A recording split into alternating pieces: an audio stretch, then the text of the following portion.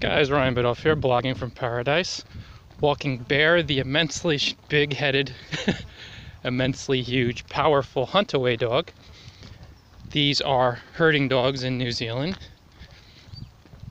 And Bearosaurus is a good. Hey, Bear! Look at that head. I know th the video doesn't do it justice, guys. He is a big boy.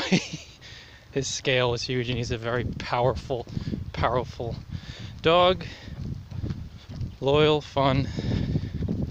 His bark sounds a little bit like a howler monkey, as far as it's, no, it's a joke, but very loud. And there's sheep here in lovely Timaru, New Zealand. Until next time, enjoy paradise.